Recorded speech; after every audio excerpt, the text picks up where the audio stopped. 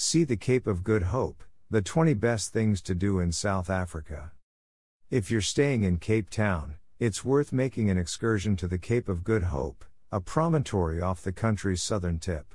While the true southern tip of Africa is a few hundred miles south at Cape Agulhas, the Cape of Good Hope is still worth visiting for its rugged natural beauty. Here, you can whale watch from June to November, climb the lighthouse for stunning views, or simply explore the scenery, and don't forget to stop by Boulders Beach if you want to see penguins.